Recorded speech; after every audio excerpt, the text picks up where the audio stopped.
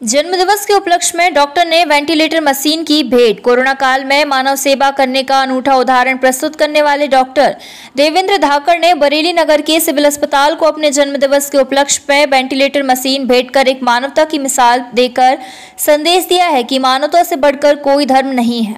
Civil अस्पताल में doctor Devendra धाकर ने पत्रकारों का सम्मान किया। इस अवसर पर मुख्य अतिथि एसडीएम प्रमोद गुजर ने जन्मदिन की शुभकामनाएँ दी और कहा कि हर व्यक्ति को अपने क्षेत्र के लोगों की सेवा करना चाहिए। डॉक्टर वी डी यादव ने वेंटिलेटर को अमृत के समान बताया है। बरेली से बहुत सारे डॉक्टर्स निकल रहे हैं। वहाँ से भी बहुत सारे डॉक्टर्स बच्चे निकल रहे हैं। बट हम लोग सर्विस कहाँ प्रोवाइड कर रहे हैं। हम दूसरी जगह सर्विस प्रोवाइड कर रहे हैं। ये तो बरेली छोटी जगह है, चलो हम यहाँ आए। बाकी इंदौर, भोपाल तो बिग सिटीज़ हैं, वहाँ सर्विसेज़ प्रोवाइड कर ठीक है? ज़्यादा सर्विसेज़ उपलब्ध है वहाँ पे, ज़्यादा सुविधाएँ हैं पैकेजेस अच्छा होता है तो हम लोग